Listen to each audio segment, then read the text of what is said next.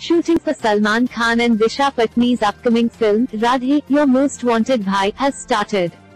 Radhe's filming had been stalled for six months due to the novel coronavirus pandemic. But now the cast and crew are back in work mode, shooting in Aamby Valley near Lonavala. This is Salman and Disha's second venture together after Bharat. According to reports, a song featuring Salman and Disha had to be put on hold along with certain action sequences. Disha took to Instagram recently to tease the shooting of the song. The pair has reportedly began filming the song amidst hills and tall trees.